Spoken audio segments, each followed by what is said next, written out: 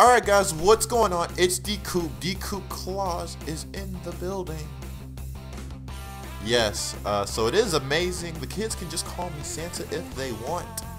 I don't do appointments, I don't do bookings, I don't do any of that stuff, so that's out the window. But yeah, I actually did just get this stuff for this video and uh, for like a few more pack openings. So it's gonna be fun, man. It's Christmas, Christmas spirit. You gotta get into it. Uh, the Saints broke my heart today, and for that, we will be doing two throwback pack openings to feel better. Two. Okay. So yeah, man, if you guys watched the game, it was a terrible way to go down at home. OC Human, you're waving goodbye. Like, how do you let that happen? Uh, at least Kenny Stills showed some heart. Tried to chase down the dude, but uh, wow, it was it was such a such a sad way to lose. But uh, anyways, guys, let's go ahead hop into the pack commentary.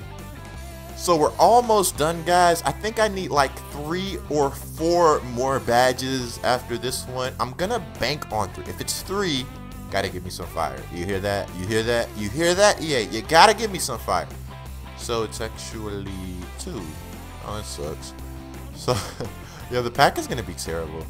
But yeah, guys, I've been loving the Christmas promo so far. It's been spot on. Like, how could you hate on this Christmas promo? I've seen some people try, and you just you just gotta put your hater blockers on, man.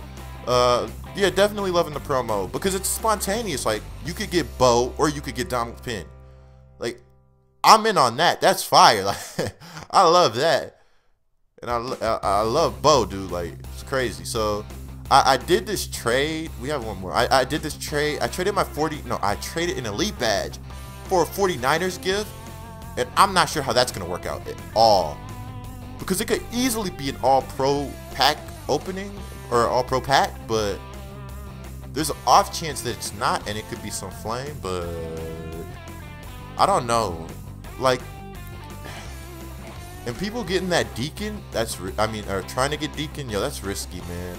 I saw somebody like paid 15 bucks for some some Rams collectible, and it might not even be Deacon. It might just be QB Tavon Austin, which would, eh, I, wouldn't really want it. Probably would get a gameplay with them though. So we have the throwback pack opening on screen, just straightening out my beard because it's, it's elegant, elegant beard. All right, guys, here we go. Throwback pack opening. Who do we get? Who do we get? Who do we get? Who do we get? Andy Levitre. So we go to his attributes. And the guards in this game are actually not that good. So I'm not sure this is a bad pull. I'm not sure at all this is a bad pull.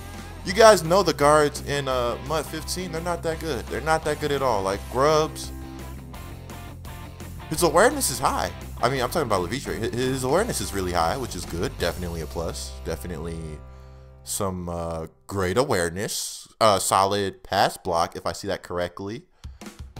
Not too strong in the run block department, but we might not need him to be. We might not need him to be. We might be a pass first team now if I sell uh, old dude. What's his name? What's his name? Amon.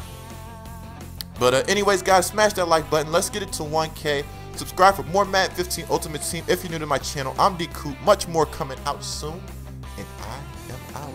Playing a wide receiver, this video is going to be all types of cheese. I actually guarantee you it's a good game, so you might want to stick around.